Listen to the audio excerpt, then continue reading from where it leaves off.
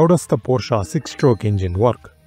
Porsche recently patented a 6-stroke engine. The Porsche 6-stroke engine is a clever hybrid which combines the 2-stroke and the 4-stroke engines.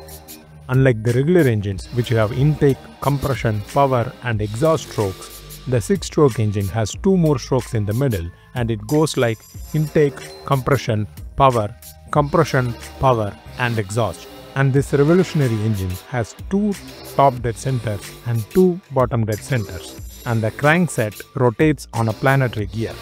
Now let's see how it works. Just like an 4-stroke engine, the first stroke is intake, in which the valve opens and the fresh air-fuel mixture enters the cylinder. In the second stroke, which is compression, the valve closes and the piston moves upwards, compressing the air-fuel mixture and when the piston reaches TDC, the spark ignites resulting in the combustion or power stroke, which pushes the piston downward. And this next step is where this engine starts to differ from the regular engine.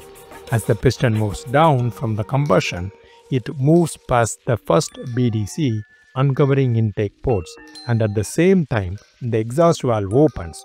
Fresh air-fuel mixture enters the chamber through the intake port and pushes the burnt exhaust gases out in the process called scavenging, just like in a two-stroke.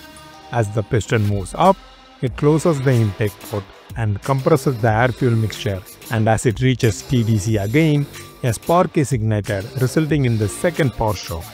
As the piston moves down, the exhaust valve opens to expel all the burnt gases and as it reaches the BDC, the exhaust valve closes and the intake valve opens to start the cycle from the start again. So once again,